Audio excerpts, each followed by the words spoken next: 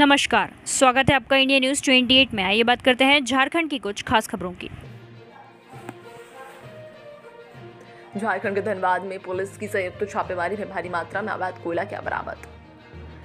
निरसा थाना क्षेत्र अंतर्गत चुड़ई नाला नदी किनारे निरसा पुलिस सीआईएसएफ और ईसीएल की सिक्योरिटी टीम के द्वारा संयुक्त छापेमारी की गई, जिसमें भारी मात्रा में लगभग चार हज़ार अवैध कोयले की भरी हुई बोरियाँ बरामद हुई हैं।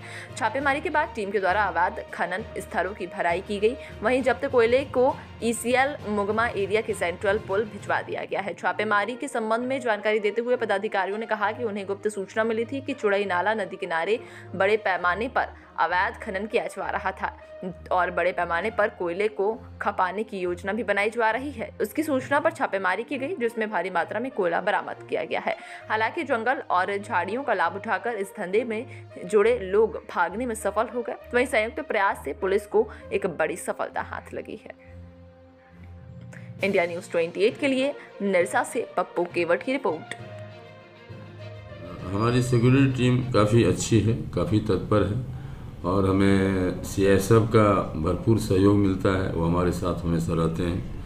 लोकल प्रशासन का भी मदद मिलते रहता है।